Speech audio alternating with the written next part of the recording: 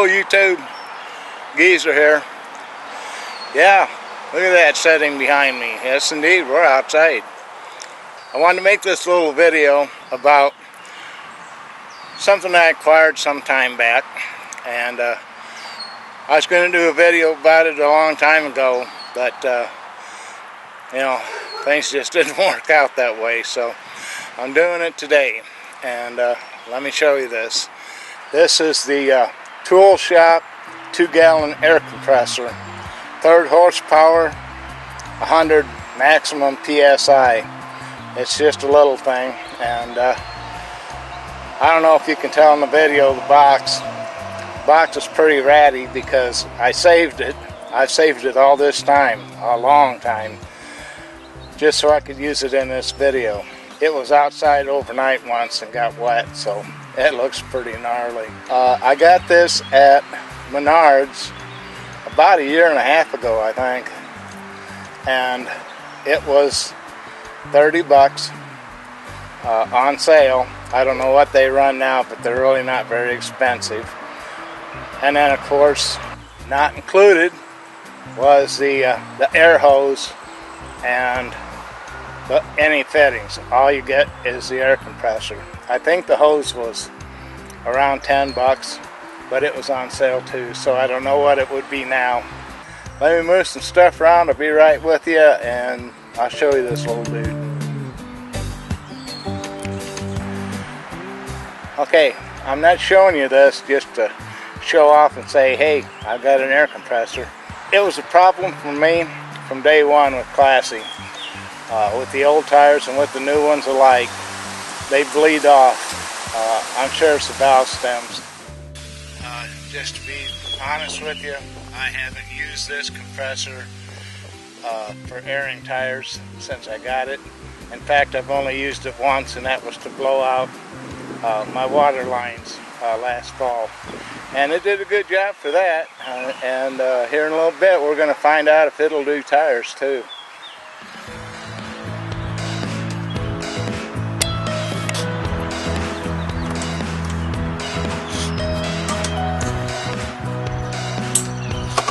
Just like that.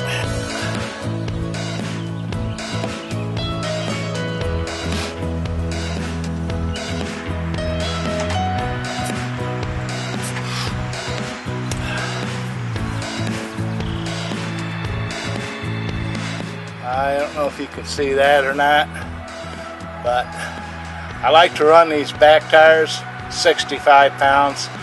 Uh, this one right now is showing just shy of 50. So let's hook her up and see what we get.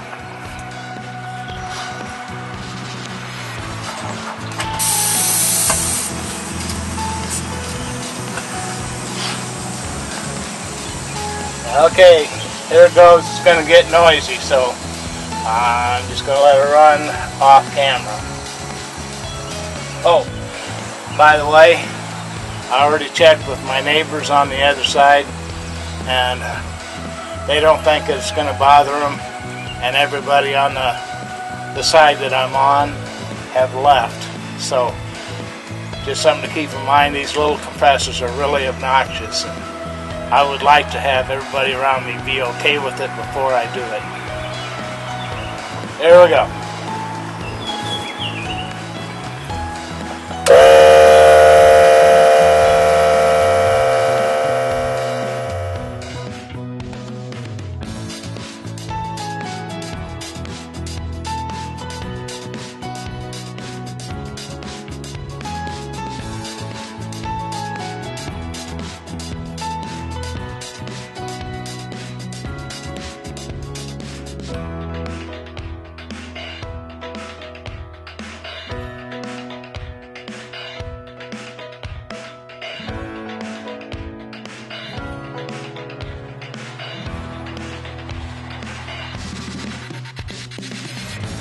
Okay, I let that run for a half an hour and uh, I gained seven pounds in that tire. I didn't need to show you the test on it because it just didn't make it. It's uh, well, right close to 55 pounds, which is the for me, the minimum that I'd even drive on. So, uh, I'm going to say it's a fail. Even though I gained a little bit of tire pressure, and I guess in an emergency it would give me something, but pretty disappointed. So we're going to call the uh, the little Menards uh, air compressor. Uh, we're going to give it a uh-uh. But I do want to thank my neighbors for putting up with me uh, running that little compressor for that long. They're just nice folks.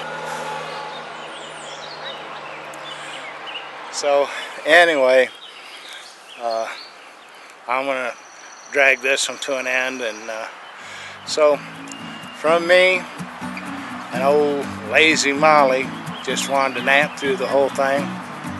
All the rest of the geese are gangsters.